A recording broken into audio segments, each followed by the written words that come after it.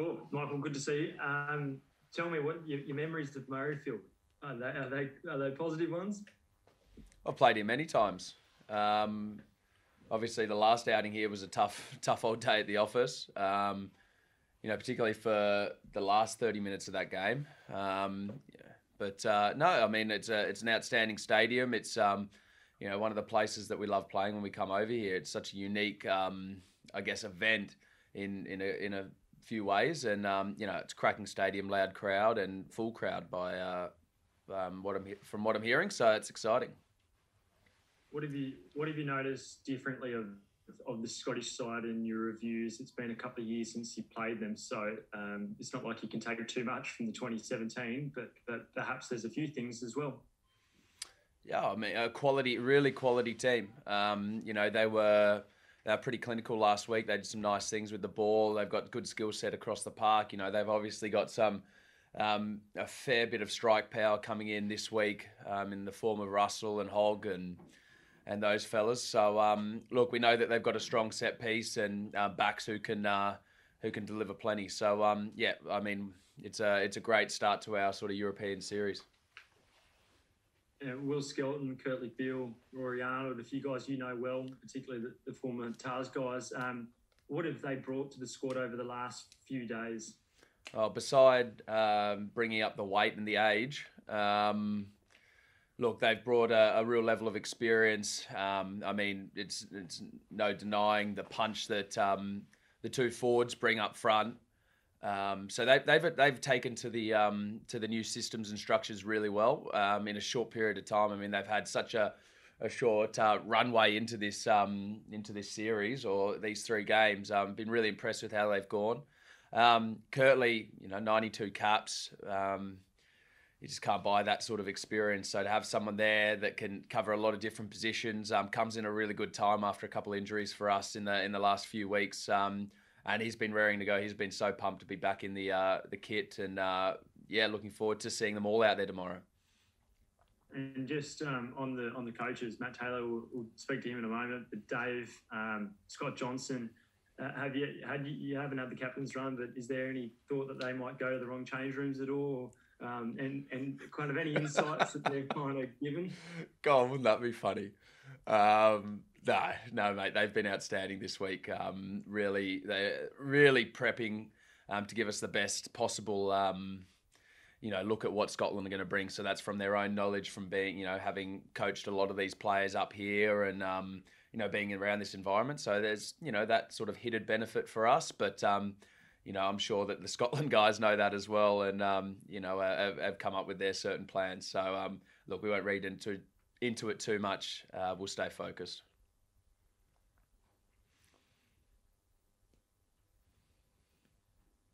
Hi, Michael. We've uh, in the Scottish press we've spoken a lot about that 2017 game for obvious reasons. Um, I mean, is there a kind of feeling that there's something that you need to kind of put right there, or you know, a score to settle from, from an Australian perspective? Oh, we want to win.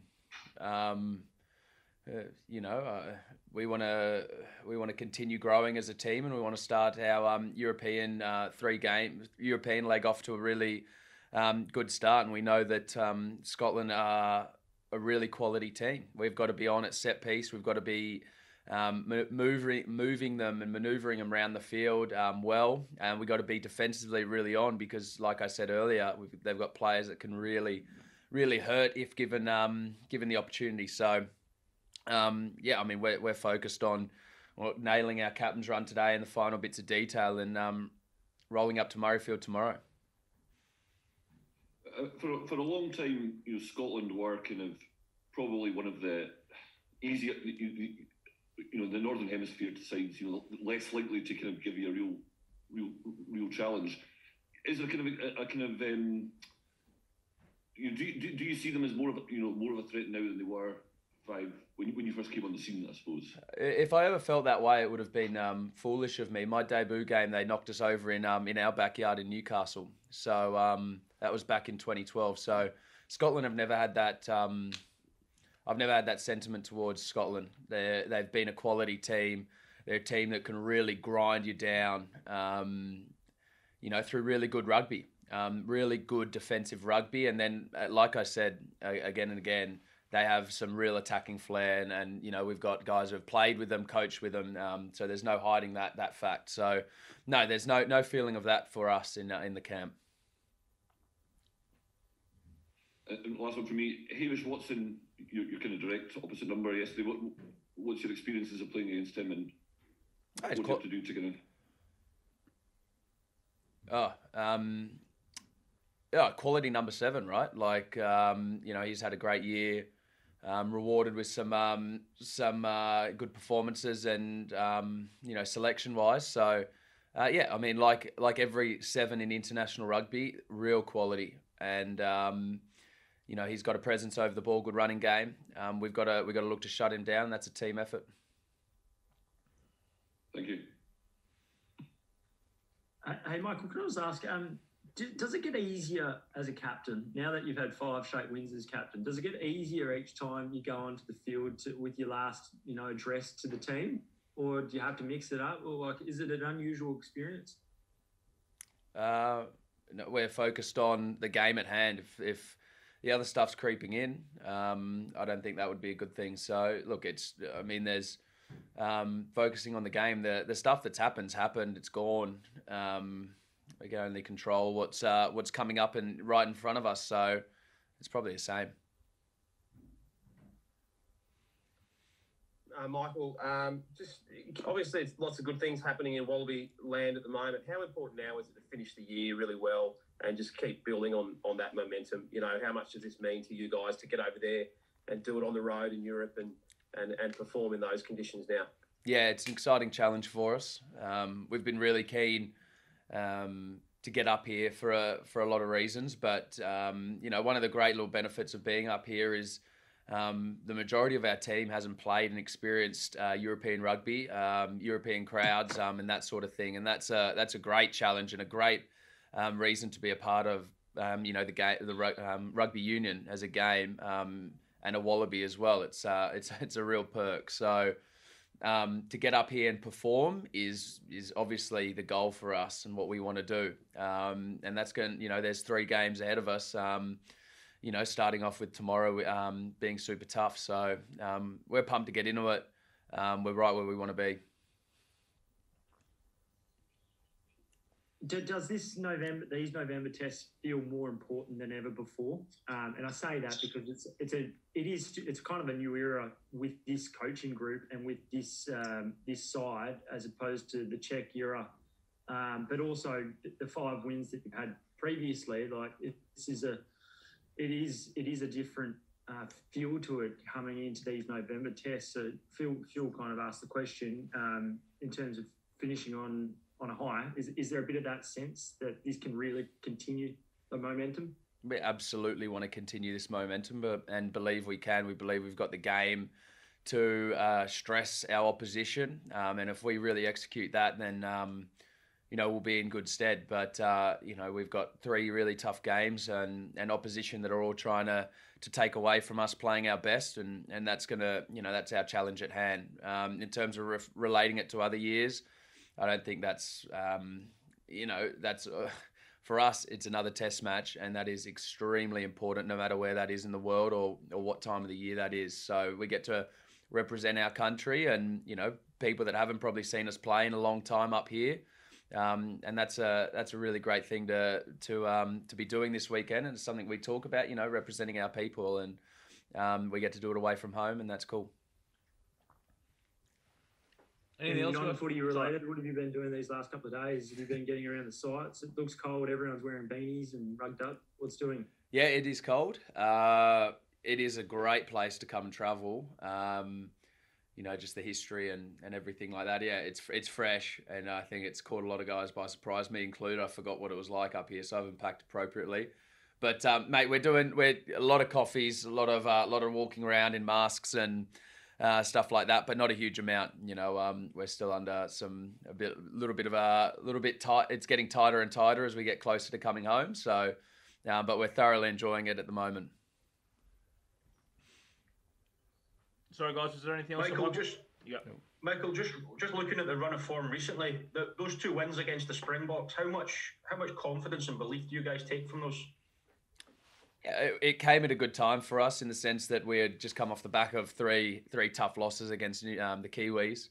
So um, to hit back with two back to back wins, um, you know, uh, yeah, came came really timely, and then and then to continue on with a couple of games there, um, you know, against oppositions that have given us um, trouble in years gone by. Um, yeah, you know, it, it, was really pleasing. What's most pleasing for us is is getting closer to executing um, the type of game that we want to play, and we're not uh, we're not there yet, um, and we've gotten some results. So what that does is creates belief in in the program, belief in you know the way we're training and the way we're playing, and also confidence. Um, going into each and every game and, and less thinking about results and outcomes and more thinking about what we can do out on the field. So um, those two games were were pretty timely for us. Matt, good to, good to be back, Matt. Yeah, no, it's awesome. Yeah, it's really good to be back in Edinburgh. Um, apart from a couple of the, these COVID rules, which is is always a little bit tough to get through, but yeah, it's it's lovely to be back in the city. A lot of the players love coming to Edinburgh, so it's it's been a good couple of days. There's been a lot of chat when we've been speaking to the Scotland squad this week about you know the, the kind of inside knowledge that you and Dave and um, Petrus and whoever you know bring bring to the game. I mean, is, is there anything in that, or does rugby move on so quickly, and you know, different teams, different, you know, how much how much of that kind of helps you helps you this week?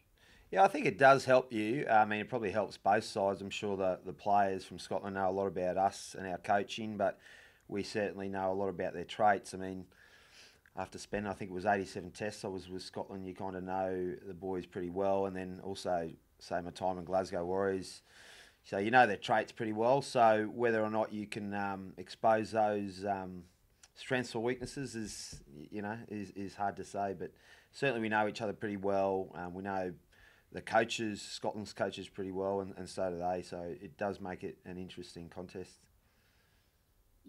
I'm trying to remember who it was, it was one of the Australian squad we spoke to earlier in the week saying that um, you in particular were up for this game. This was, you know, that you've been kind of on a different level. Uh, I mean, is it, uh, Would you agree with that? You know, is, oh, does it give you an extra kind of edge?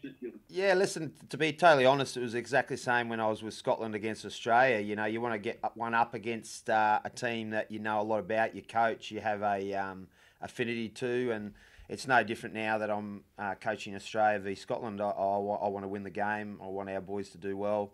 Um, but I'm also actually looking forward to uh, catching up with particularly probably the players after the game and, and saying good day because I think that's what coaching's all about. You're there to win and do your best, but at the end, win, lose or draw, you you know the friendships are the thing which will endure and which probably I've enjoyed over the years coaching. So, um, but yeah, no, listen, I'm definitely pretty motivated to win, particularly and uh, when I made the transition to Australia, one of the first things I thought was geez, the last time uh, Australia and Scotland came uh, to Murrayfield, it was the biggest ever defeat. So I, I, certainly had that in the back of my mind. And the, the Scotland defence has um, been getting a lot of praise yep. of, of, late. Um, does that kind of motivate you more, or does that you know? Uh, no, I like to kind of uh, you know kind of read those stats a wee bit. no, listen, the uh, the Scotland's defence has been very good, hasn't it? And uh, I think uh, you know Steve's a great guy and a, and a really good coach, and um, I think as I've probably mentioned before, I think there's been a lot of things which have, have probably changed. Has been a bit more of a pragmatic way in which Scotland has has probably played the game, which certainly, you know, there's defence and there's sorry, there's pure defence and there's things in your game plan which has an effect probably on on the scoreline and things. And I think uh, particularly. Um, the way uh, Scotland plays, that's surely helped. But um, listen, we we we feel we've got a pretty good attacking game. Um, our defence has been doing reasonably well as well. So this is going to be a great contest, and um, you know, Pat Murrayfield, as we all know, is a great atmosphere. So it's one I'm looking forward to. I know our boys are really uh, excited about it as well. Thanks, Dutch. Nice to see yeah, you. You too, Dave. Matt, um, you, are talking a bit about their Scotland's tactics, and we know that they, um, in the past, have wanted to, to play a bit of rugby, and they probably still do. Do yep. you think that the Wallabies want to play um, more rugby, or do they want to go back to how you guys played against the Springboks a bit more, and, and perhaps kick and, yeah. and just focus on on maybe not necessarily playing as much rugby as you might have against, say, Japan? Yeah, that's a good question, Christy. I think. Um, you know, international rugby for me is getting the balance right. I mean, um, you can't. Oh, well, our view is you can't kick the ball all the time and, and not playing rugby, and, and vice versa. You can't just run the ball without kicking it. You've got to get that fine balance. And I think both you'll find both teams out there trying to play that balance. I know um, I know Scotland certainly try and get that balance. They'll try and play with tempo, but so will we. We'll try and speed the game up in the right areas of the field. But if we need to exit well, we won't be mucking around as well. So I think you know, you can overplay, um, which is certainly not what we want to do. But at the same time, you've got to take opportunities. So it's how how your momentum's going in that attack, and depending where you are on, on the field, like you know, we'll, we'll attack from our back half if it's on, and if there's momentum. And I think that's what Dave has been very good at. Play when it's on, and also um, revert the pressure back on the opposition with our kicking game if it's not on or the ball's starting to stall. So, and I think the best international teams have that good balance. Um, and that's what we'll be attempting to do at Murrayfield. And you, and you know the, the Scottish team, like the back of your hand. If, if there's two things or two or three things that you'd say um, that yeah you must do, um, where are the threats to, to, that Scotland have to, to beat this Wallaby side? Well, listen, I think um, you know with Scotland they want to play with tempo. They want to move the ball around again, particularly more so in, in the opposition's half.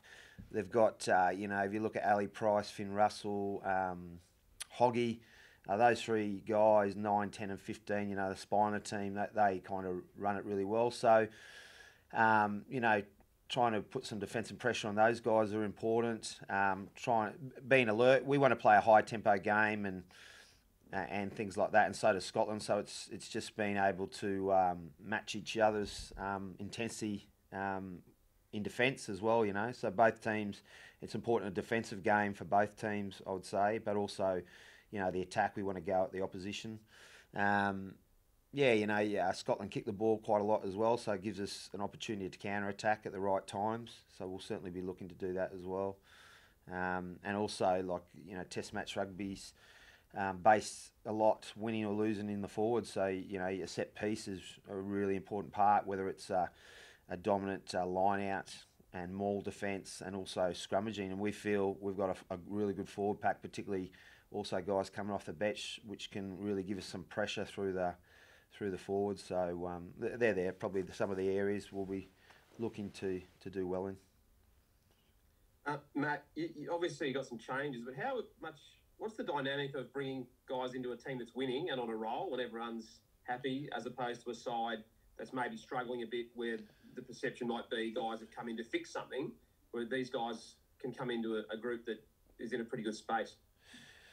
Yeah, the new guys have really um, come in and slotted in well. Like I think the first couple of days there was, uh, you know, a few meetings outside the ordinary ones for those new guys just getting up to plan. But we were certainly, um, you know, by the end of the week, last couple of days, we've been leaving them alone just to take things in. We didn't want to overdo it. I think um, probably over this last period, like the new guys coming in, it's been really refreshing for the group, and particularly some of the older guys who haven't been around the squad for a number of years. You know, there's been a lot of excitement when they come in, and you know, you look at the the caliber of the players which were probably brought in this week.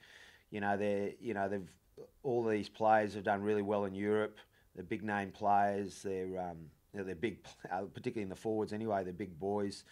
They're, um, so everyone's been really excited and uh, there's been really good transition, and we've just been learning the game this week. And I think come Saturday they'll be in a really good space in terms of knowing the roles. We wanted them to, you know, you want them to know the roles so they're not having to overthink on the game or during the day because if you're thinking about this, that, whatever, it can slow you down a little bit, doesn't it? So it's just assimilating them and getting their understanding, which they've done really well. And you know, I've found, um, you know, they're seasoned pros. These guys are coming in. They're not guys who um, are new players. They've been around a long time. They've done well in Europe at a number of different clubs. Um, particularly Will, uh, Rory's done, you know, done very well with Toulouse. You've got Kurtley, who's again um, been in Europe for two different stints at two different clubs. So they've added to the group, and I think that's um, what we've asked them to do. Don't just sit back and we want you to add to the group and drive the group, and they've certainly done that. So we're excited that they're part of the, this uh, team on the weekend.